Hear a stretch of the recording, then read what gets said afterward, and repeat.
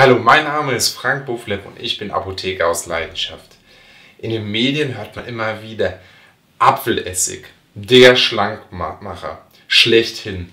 Und deswegen habe ich mich mal mit dem Thema auseinandergesetzt, weil schönere Haut, flacherer Bauch und bessere Verdauung, wenn man sowas hört, dann möchte man das doch auch. Und ich habe mal genauer geschaut, Apfelessig, was macht das?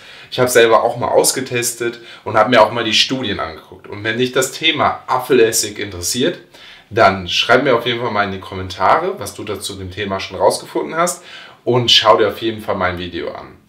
Gut, starten wir. Apfelessig. Aus was wird Apfelessig überhaupt gewonnen? Apfelessig wird aus Apfelwein gewonnen, kombiniert mit Essigsäurebakterien und daraus entsteht dann das fertige, der fertige Apfelessig. Und wenn man sich die Inhaltsstoffe dann mal genauer anguckt, dann sieht man, dass es eigentlich vergleichbar ist mit Apfelsaft.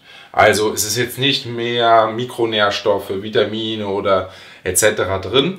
Es ist im Endeffekt damit relativ gut vergleichbar. Aber wie kommt es dann auf diesen Produkten mit dem Apfelessigpulver zu den Zusätzen? Ja, das ist künstlich zugesetzte Vitamine, Folsäure und verschiedene andere Sachen.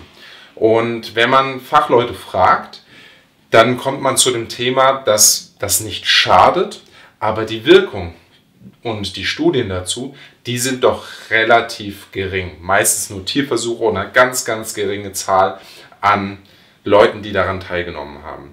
Und die Studien, die gehen immer davon aus, dass man ein Glas Wasser, also 200 Milliliter dazu nimmt, dann zwei Teelöffel Apfelessig und dann noch Honig. Wem das nicht schmeckt, gibt es halt auch diese Fertigpulver und die versprechen dann die ganzen Effekte.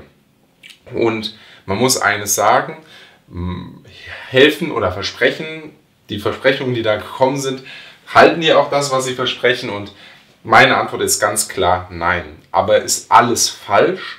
Ähm, ist das Versprechen, dass man dünner wird oder dass Diabetes im Endeffekt vielleicht sogar ein bisschen verbessert wird, grundsätzlich falsch?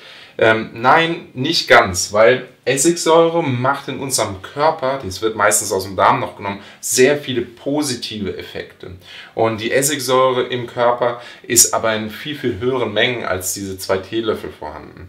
Und da brauchen wir auch nicht Apfelessig, es gibt auch, ähm, sage ich mal, Obstessig, der genau die gleichen Effekte hätte, wenn er diese Konzentrationen schaffen würde.